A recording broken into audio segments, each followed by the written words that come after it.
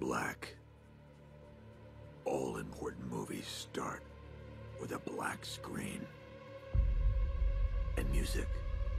Edgy, scary music that would make a parent or studio executive nervous.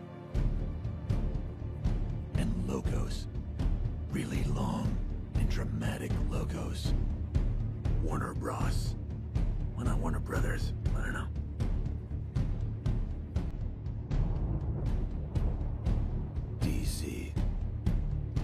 House that Batman built.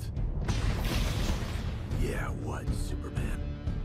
Come at me, bro. I'm your kryptonite.